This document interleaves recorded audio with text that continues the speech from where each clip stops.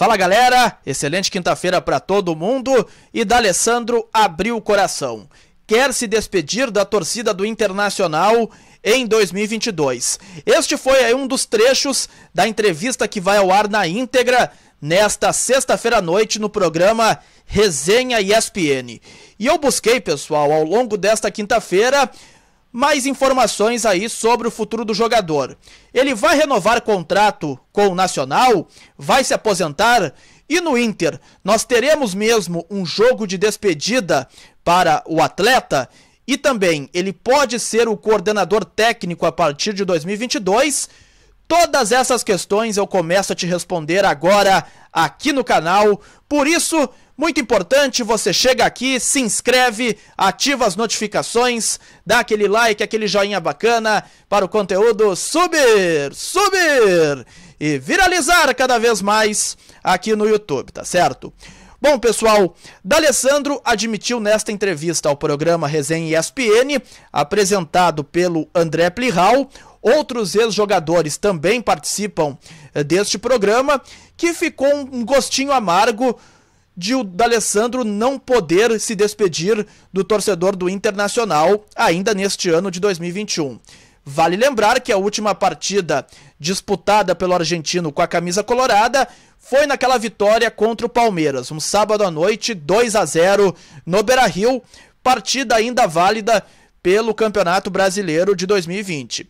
Vale ressaltar que, pelo menos no Beira Rio, nós não temos público em função da pandemia da Covid-19 desde o dia 8 de março de 2020, pelo Campeonato Gaúcho, aquela vitória por 2 a 0 do Inter contra o Brasil de Pelotas, dois gols marcados pelo Patrick naquela oportunidade. O D'Alessandro deixou muito claro, quer se despedir da torcida do Internacional.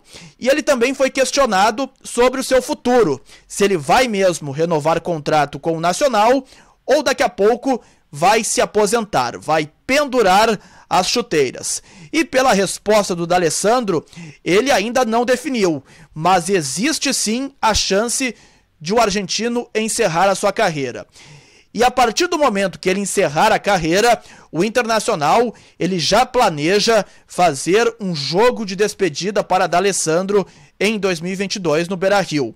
Uma vez que agora os, o público está voltando, por exemplo, o governo do estado do Rio Grande do Sul decretou nesta quinta-feira à noite que 30% da ocupação dos estádios já estão liberados, por exemplo, o Beira Rio, que tem capacidade para 50 mil torcedores, pode receber 15 mil a partir de Inter Chapecoense no dia 10 de outubro, 11 horas da manhã, pelo Campeonato Brasileiro. E essa será uma liberação gradativa. Já podem ingressar 15 mil colorados no Beira Rio e a partir do momento que a vacinação vá avançando, a capacidade vai aumentar ainda mais. E o sonho do D'Alessandro é se despedir com o Beira Rio absolutamente lotado. Pois os títulos e a idolatria do jogador com o Internacional falam por si só muitos títulos importantes conquistados: Libertadores da América, Recopa Sul-Americana, a Copa Sul-Americana, Campeonatos Gaúchos, muitos destaques aí, especialmente em clássicos grenais contra o maior rival o Grêmio, em que o D'Alessandro se destacou bastante. Então, este é o sonho do D'Alessandro. E o Inter já se planeja se o atleta se despedir mesmo e pendurar as chuteiras ao final da temporada, de fazer um jogo de despedida para o jogador. Eu conversei nesta tarde com Alejandro Balbi, o vice-presidente uh, do Nacional. É um dirigente muito influente no clube uruguaio. E ele me respondeu pelo WhatsApp. Eu questionei aí a situação do D'Alessandro, se ele vai renovar o contrato, se ele vai mesmo deixar o clube ao final da temporada, no dia 31 de dezembro, e ele me disse exatamente o seguinte, o senhor Alejandro Balbi. A situação está indefinida, ou seja, se daqui a pouco o D'Alessandro ele optar por sair do Nacional, o caminho está aberto para ele voltar ao Internacional. Em primeiro lugar, para fazer esta partida de despedida para o torcedor. E também existe o desejo de principalmente o presidente Alessandro Barcelos de ser o coordenador técnico do Inter a partir eh, de 2022. E eu me recordo que o presidente, no início do mês de setembro, ele deu uma entrevista para o programa Donos da Bola na TV Bandeirantes. E lá, questionado pelos colegas, o Leonardo Meneghetti, João Batista Filho, Fabiano Baldasso, Taigor Jank, entre outros, o presidente, ele disse exatamente o seguinte sobre o D'Alessandro desempenhar futuramente o cargo de coordenador técnico.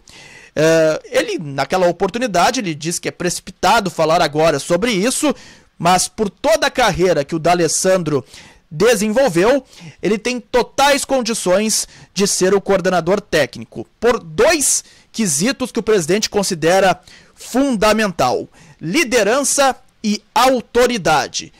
Presidente falou abertamente sobre isso na entrevista que deu à Band recentemente.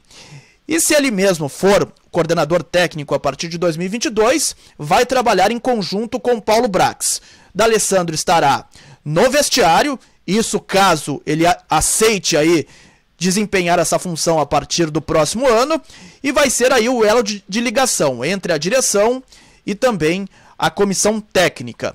Estará diariamente no vestiário e aí o Paulo Brax vai, vai cuidar especificamente uh, do planejamento estratégico e também uh, de contratações para poder aí tocar o departamento de futebol do Inter ao lado do vice-futebol Emílio Papaléu. Tá certo? Novas informações aí eu volto a qualquer momento. Gostou do vídeo? Dá aquele like, aquele joinha bacana e a gente volta aí ao longo ainda das próximas horas com muitas informações para você. Valeu, aquele abraço.